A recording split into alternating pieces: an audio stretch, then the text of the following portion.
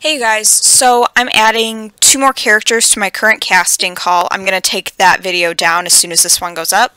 Uh, the part for Razakel, who was in the last video, he's still available, um, so I still need somebody to voice him. Uh, his information will be here right now.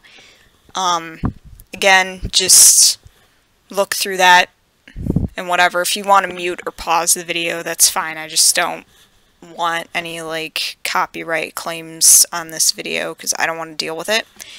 Alright, so our next character is T-Roll and his information will be here. Again, you can pause the video, mute it, whatever.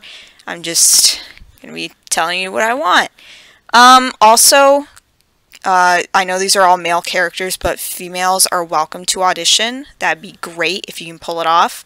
Uh, this is Leon. Uh, again, same thing.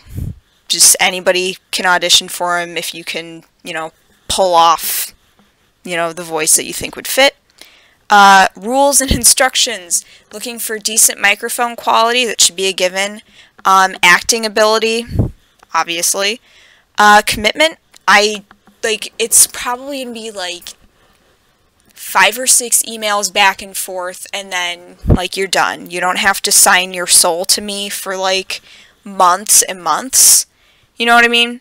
Um give me a Gmail account, like email. That'd just be the easiest. But if you can't, then just let me know and just give me whichever email that maybe you check the most often.